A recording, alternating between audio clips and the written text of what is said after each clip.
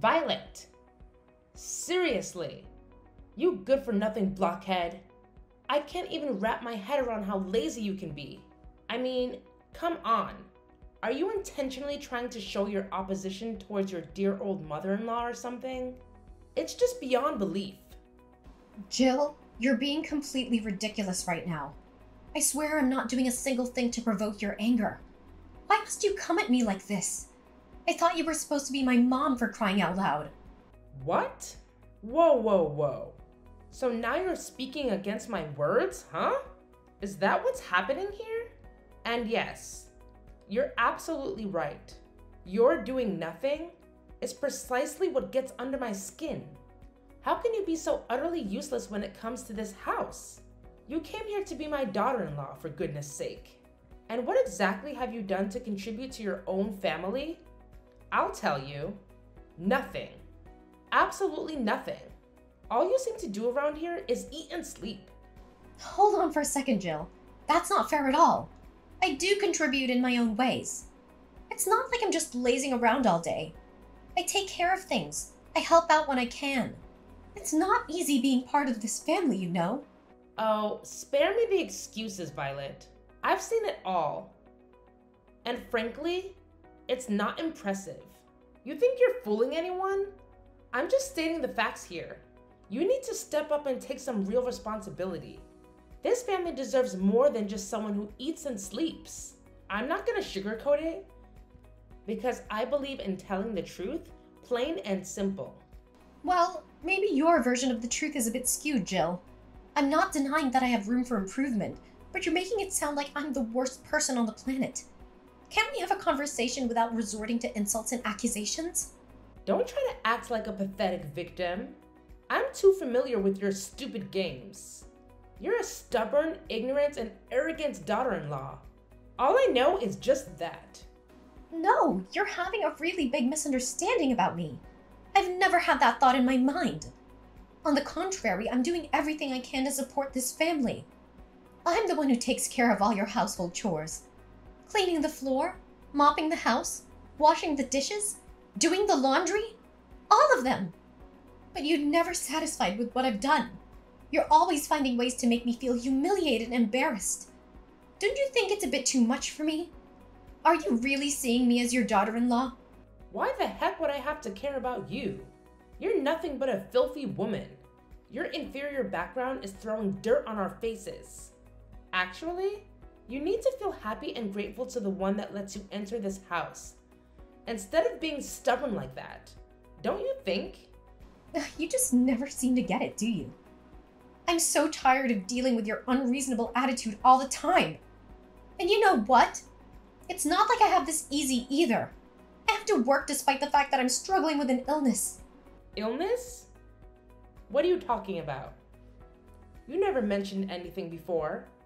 Well, I've been dealing with atopic dermatitis. It's a skin condition that makes my skin super sensitive and causes a lot of discomfort.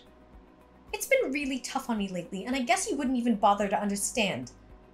You're just so self centered, always finding joy in dragging others down. How dare you say that to your own mother in law? I'm your husband's mother, for goodness sake. The least you could do is show me some respect. And mark my words, I have no responsibility whatsoever when it comes to your so called stupid illness. It's not a stupid illness, Jill. It's a real condition that I'm struggling with. But why would I expect you to understand? You're too busy judging and belittling me all the time. And as for hiding it from you, well, it's not like I intentionally kept it a secret. It's just that I didn't think you'd react with any sympathy or understanding. You're always quick to criticize and make things worse. Oh, please. Spare me the drama. You think I would have solved the problem if you had told me? Let's be real here. You spread negativity and complaints to everyone else in the family. How can I trust you to handle the situation appropriately? It's just plain gross. You know what, Jill? I've seriously reached my limit with your constant judgment and complete lack of empathy. I honestly can't understand why you harbor so much prejudice towards me. Is it because of my background? It's downright evil of you to act like such a monster. Oh, you bet I have my reasons. And wow, You're dealing with a skin illness now?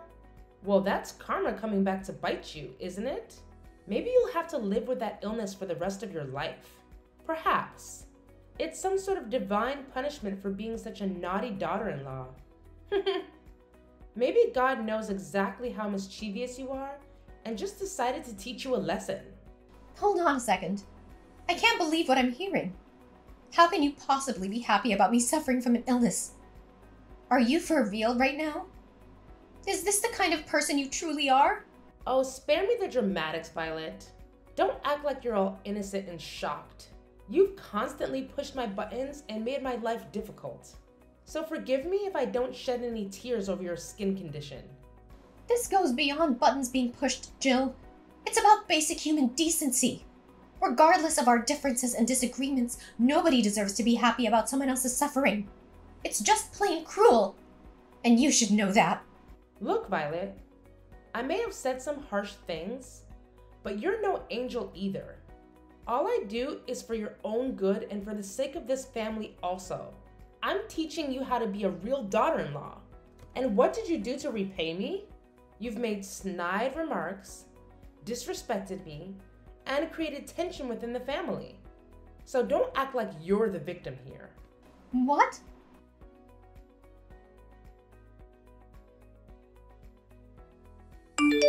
Hey there, Violet. Oh, hey, Eva. It's so great to see you. And let me tell you, your medicine has been a game changer for me.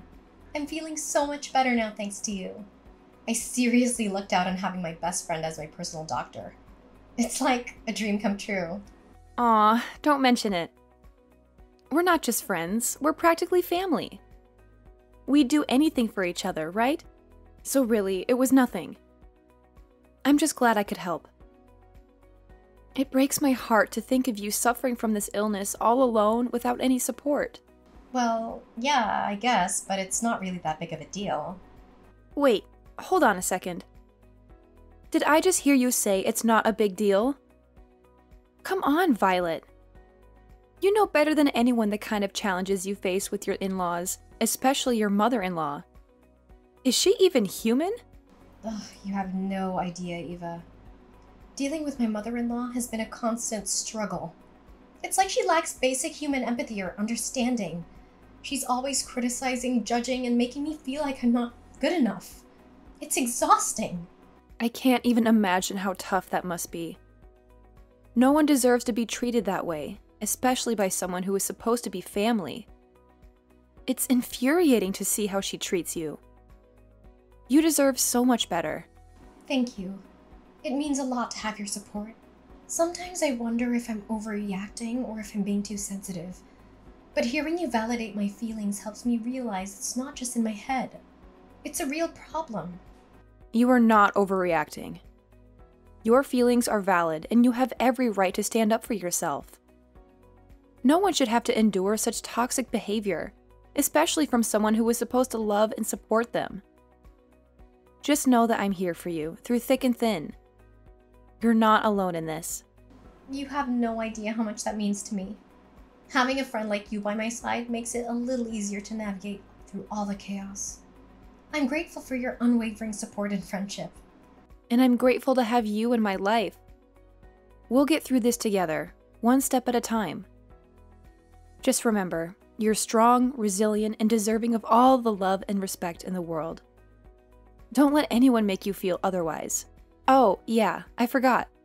The reason I texted you is that my mom asked me about you yesterday. She asked about your illness. Wait, what? What are you talking about? She asked about my illness? Are you for real? I can't believe my ears. I thought she would never care about me even if I was dead. I'm curious about that too. She's not the kind of person that could care much about others, especially you, her daughter in law.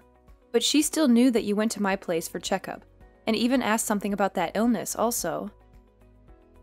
That's kind of, you know, weird. Don't you think? Yeah, it's really weird, I have to admit. I mean, let's be real. My mother in law showing so much concern for me? It's just not like her at all. I can't help but feel like there's something hidden behind her fake kindness. By the way, Eva, Did she ask a lot about me? Nah, not really. Just some basic information. Nothing out of the ordinary. Did she ask about any specific precautions or things I should be aware of during the treatment process? Nope, not a word about that. She mainly asked about the name of the medicine and stuff like that. I didn't hear her mention anything about your treatment plan or what you should do. Hmm. That's interesting. Well, Eva, I hate to ask, but could you do me a little favor? I have this gut feeling that my mother in law is up to something, but I can't quite put my finger on it. I need you to help me figure out her evil plan, if there is one. Can you please help me? Of course, Violet. Anything for you. You know I've got your back. Thank you so much. I really appreciate it. My whole life feels like it's in your hands now. I don't know what I would do without your support. Please find a way to uncover her intentions and help me out. Don't worry, Violet. I'll have a little chat with her and see if I can get any information. Trust me, she may act all high and mighty, but she doesn't know a thing about medicine. We'll figure this out together. Are you sure about that? I mean, she can be quite cunning when she wants to be. Absolutely. Have a little faith in me, Violet. I've got some tricks up my sleeve. I'll do my best to get to the bottom of this and protect you. You're like family to me, and I won't let anything happen to you. That's such a relief to hear. I don't know how to thank you enough, Eva. Seriously, I owe you big time for this. You're an amazing friend. Aw, don't mention it. Friends look out for each other, right? We're in this together. Just focus on taking care of yourself and leave the detective work to me. We'll get to the bottom of this and put your worries to rest.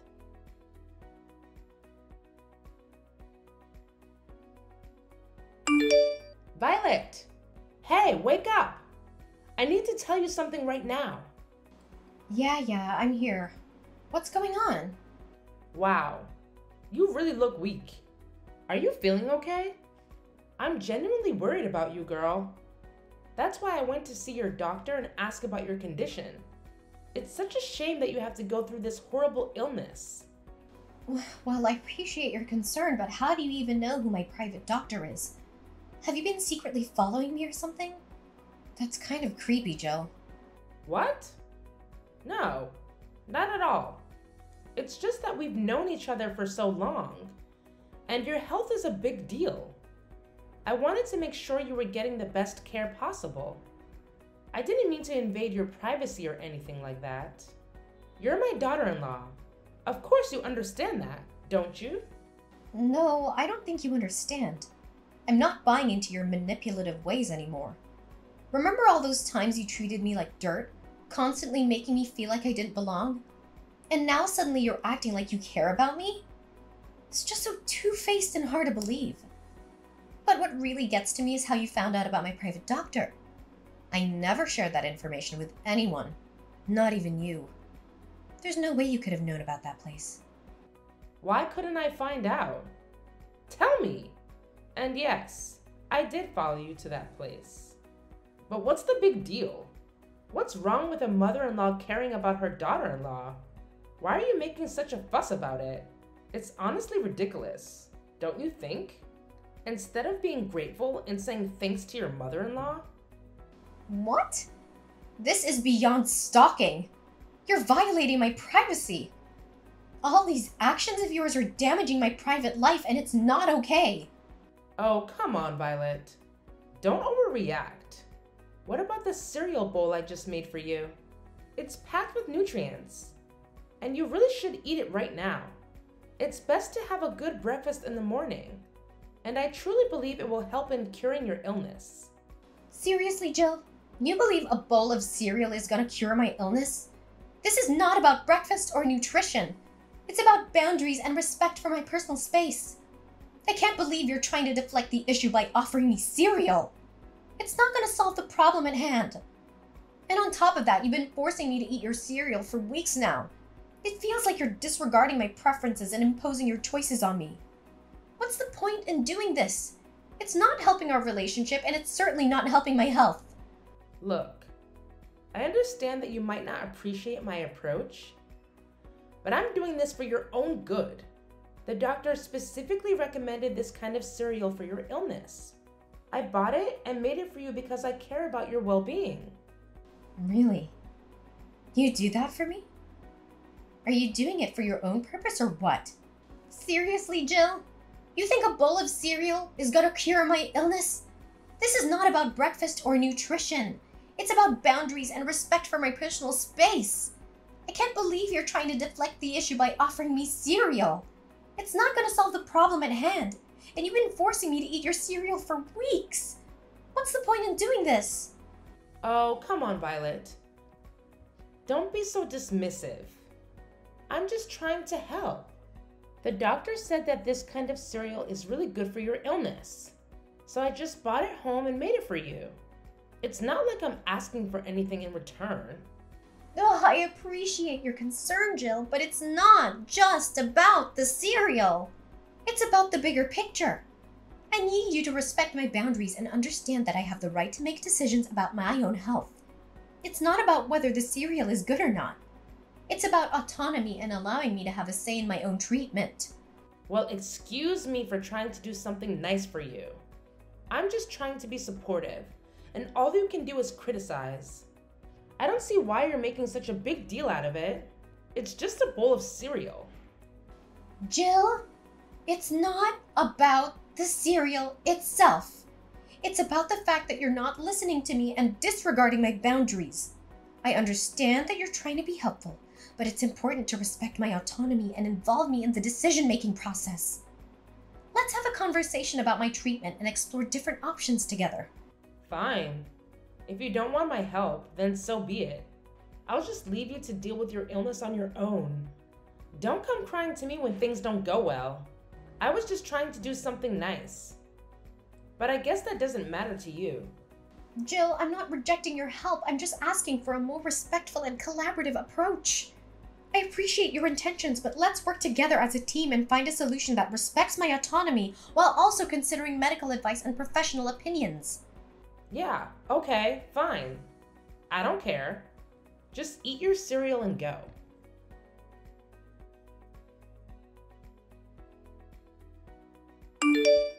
Violet, hey, how's it going? Are you almost back to your old self after dealing with that illness? I can't even wrap my head around it. I mean, seriously, how did this happen? It's just. It's unbelievable. Yeah, I'd say I'm on the road to recovery.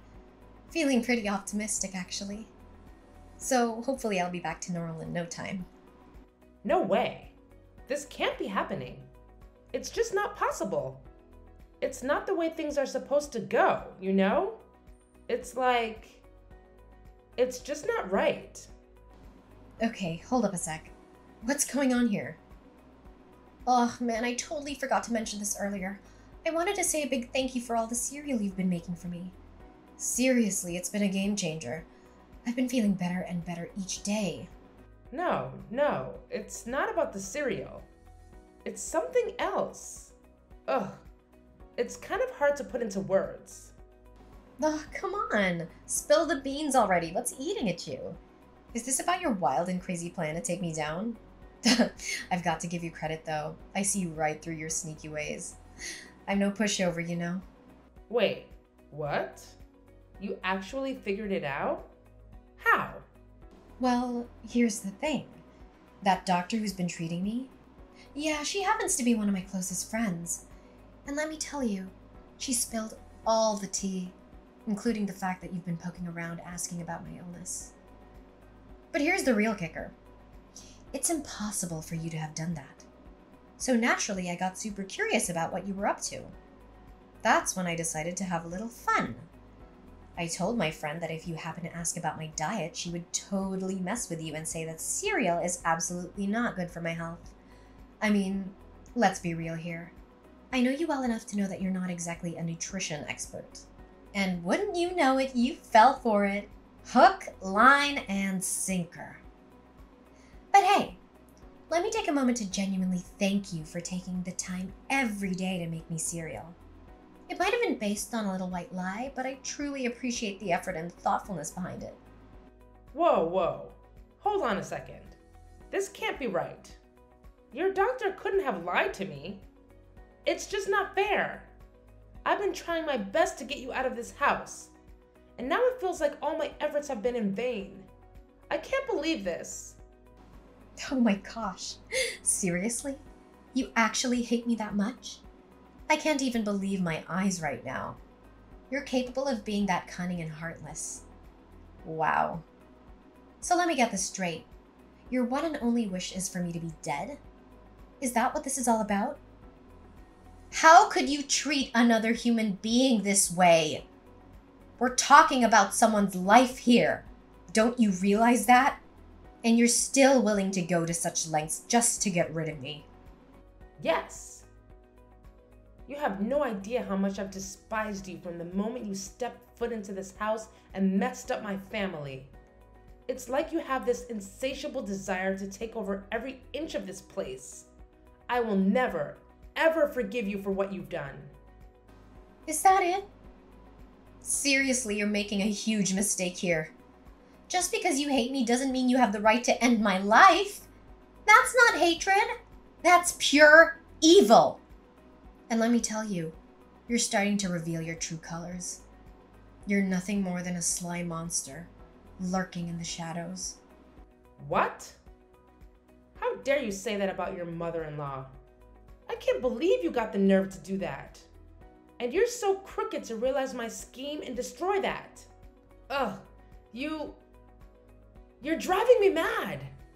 Well, is that so? then it would be my pleasure.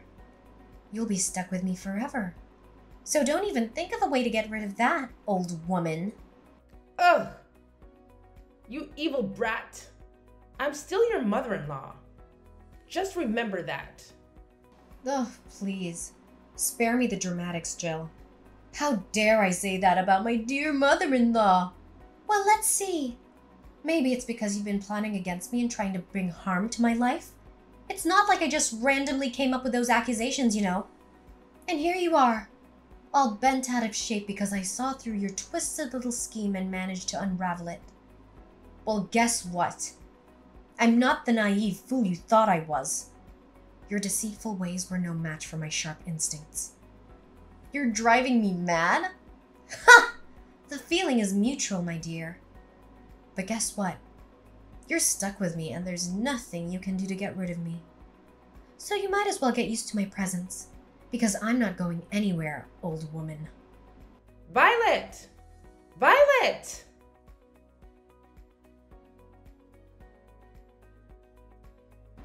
After that heated exchange, Mrs. Jill was so furious that she couldn't even find words to say to me anymore. She finally gave up on her twisted plans to harm me physically, but that didn't stop her from displaying her deep seated hatred every time our paths crossed. Honestly, I couldn't care less about her attitude because, let's face it, what could she really do about it?